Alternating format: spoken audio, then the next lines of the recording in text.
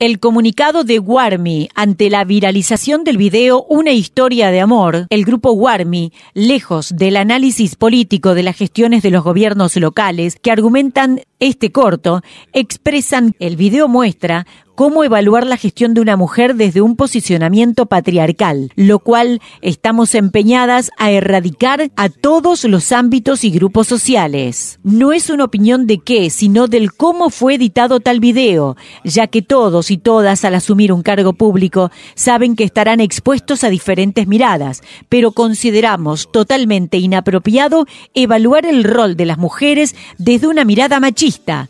Necesitamos cambiar estructuras sociales que destratan a las mujeres tan naturalmente, es lo que dice el comunicado.